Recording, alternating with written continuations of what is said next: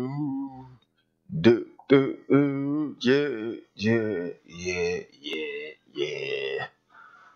Uh, we rolling? Okay, we rolling. Okay.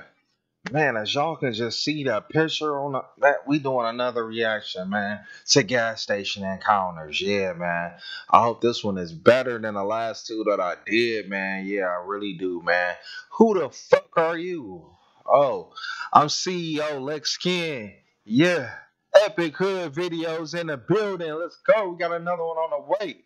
But before I need y'all to do me one favor, just one. Hit that subscribe button, turn on that notification bell so you know every time your boy drop another banger. You feel me? Go ahead. Hit that button. Alright, you guys, if you look in the top left corner of the screen, you're going to see the Fave Trip logo. You okay. know what that means. Let's get Trip collaboration. Now, we're going to be paying attention to the guy in the orange hoodie. Now, he's doing his best mime impression, standing there very... Mm still, and that's because I have not hit the play button yet. So let's go ahead and do that.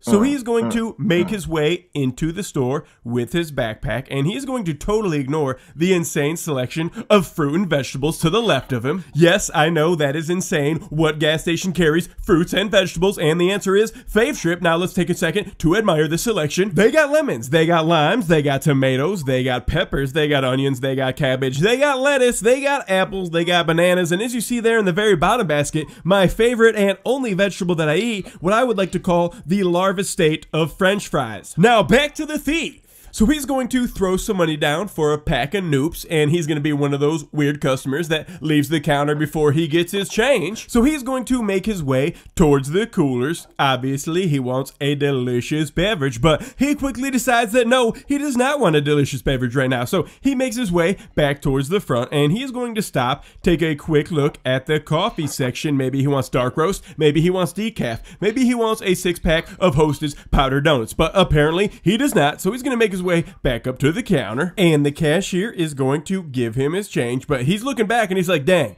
maybe I do want a delicious beverage, even though he's carrying one of the most delicious beverages of all time, Tahitian Treat. If you don't know what that is, I suggest you stop this video right now, go to your local gas station, and grab a two liter because it's the best fruit punch you'll ever drink. So he's going to put the money into his pocket, and he's going to tell the cashier that even though the Browns lost to the Baltimore Ravens, they are still going to win the Super Bowl this year. So he's going to grab his noops and he's going to make his way back towards the coolers because obviously he still wants some delicious beverages. So he quickly decides that he wants some Gatorade. So he opens up that door. He's going to look at all of his options. Maybe he wants some Glacier Freeze. Maybe he wants some Riptide Rush. How about some Arctic Blitz? Nope, he wants the Fruit Punch. This guy really likes Fruit Punch, so he's going to grab two of the Fruit Punch wow, Gatorades. Then he's gonna stop because obviously he wants some sour cream and onion Pringles. So he grabs one can of Pringles and he's like, you know what? I should just grab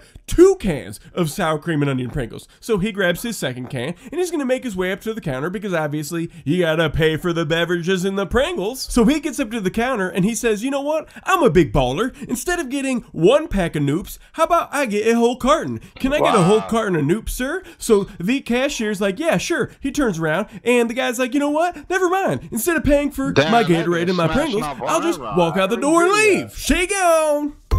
If you know this you, thief, let him know shit. that he needs to turn himself into. Well, I don't know what to say about that video, but hell, it look like that store right there. That be there every every time and be that same store. And if you don't feel like paying, hell, just walk out. And you heard it here first on Lionheart TV, where you only get the realest information and realest videos on YouTube.